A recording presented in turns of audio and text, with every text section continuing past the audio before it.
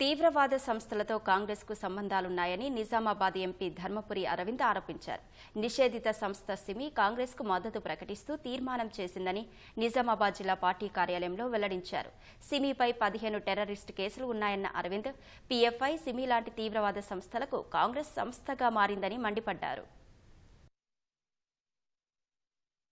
రాను రాను ఇవన్నీ చూస్తా ఉంటే మాకు పోటీ టెర్రరిస్టులతోట టెర్రరిస్ట్ ఆర్గనైజేషన్ తోట అని అనిపిస్తా ఉంది. Student Islamic movement of India SIMI banned organisation outfit వాళ్ళు ఓపెన్గా కాంగ్రెస్ పార్టీకి సపోర్ట్ చేస్తూ తీర్మానం చేసి పంపారు ముస్లింలందరూ కాంగ్రెస్కి సపోర్ట్ చేయాలి. ఈ కాంగ్రెస్ పార్టీ పిఎఫ్ఐ సిమి ఇటువంటి ఆర్గనైజేషన్కి మాతృ సంస్థగా మారుతా ఉంది. రెండు వేల ఒకటిలో బ్యాన్ అయిన సంస్థ ఇది. రెండు వేల ఇరవై తొమ్మిది వరకు బ్యాన్ని కూడా పొడిగించిండ్రు మోడీ ప్రభుత్వం. పిఎఫ్ఐ సంస్థ ఈ సంస్థ ఇటువంటి సంస్థలు కాంగ్రెస్ పార్టీకి మద్దతు పలుకుతా ఉన్నాయి కాంగ్రెస్ పార్టీకి ఫండింగ్ చేస్తా ఉన్నాయి. ఈ టెర్రరిస్ట్ ఆర్గనైజేషన్లకి కాంగ్రెస్ పార్టీ మాతృ సంస్థగా మారుతున్నది. హిందూ సమాజం మేలుకోవాలి. ముప్పైలో ఒక సంస్థ సున్నీ ముస్లింల ఏదో సంస్థ ఉన్నది. వాళ్ళకి భారతదేశానికి సంబంధమే లేదు. వాళ్ళు కాంగ్రెస్ పార్టీకి సపోర్ట్ అంటున్నారు.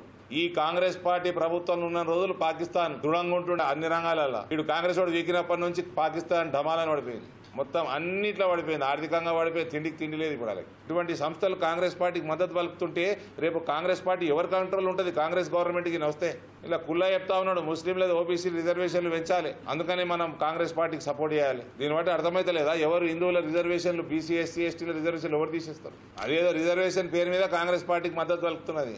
బా అజెండా మొత్తం ఇస్లామిక్ స్టేట్ చేసే అజెండా ఉంటుంది దీనికి.